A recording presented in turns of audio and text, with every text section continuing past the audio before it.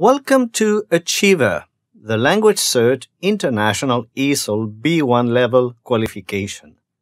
Let's look at listening, the first component of the written exam. The listening component of the LanguageCert International ESOL written exam at B1 level consists of four parts. All texts are heard twice. There are 26 items to answer.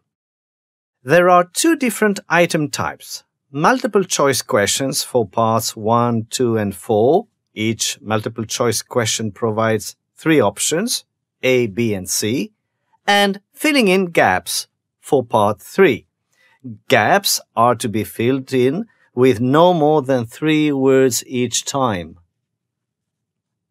Part 1 consists of seven short and related utterances each followed by one multiple choice question. Here, candidates are asked to understand context, meaning, and function of a range of utterances and are asked to answer seven multiple choice questions. In part two, there is a task which asks them to identify a specific aspect of three conversations and answer two multiple choice questions on each. Part three asks candidates to extract key information from a monologue to complete a notepad with seven gaps. Each gap needs to be completed with up to three words. Finally, during part four, candidates are asked to follow a discussion between two speakers and answer six multiple choice questions on it, each with three options.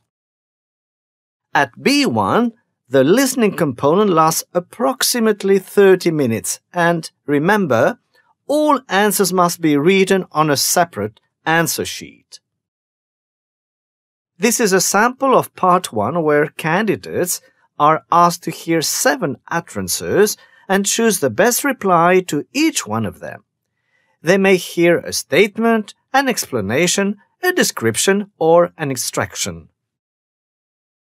This example is characteristic of part 2 where candidates listen to three conversations and are asked to identify topic, purpose, context or relationship between speakers. They answer two multiple choice questions per conversation. This task from part 3 asks candidates to extract information from a monologue. It may ask them to listen to a radio broadcast, talk, narrative, presentation, and identify specific information. They are required to produce seven responses which should be no longer than three words each.